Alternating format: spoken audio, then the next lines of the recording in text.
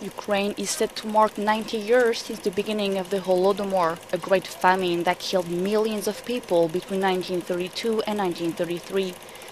The man-made disaster is considered by Kiev and a dozen other countries as an act of genocide by the Soviet regime when Joseph Stalin forced peasants to relinquish their land and personal property to collective farms.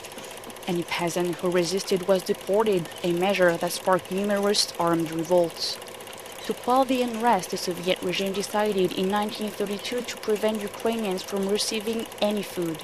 Organized groups of communists ransacked homes and took anything that was edible as well as grain. According to different estimates, between 4 and 10 million Ukrainians lost their lives.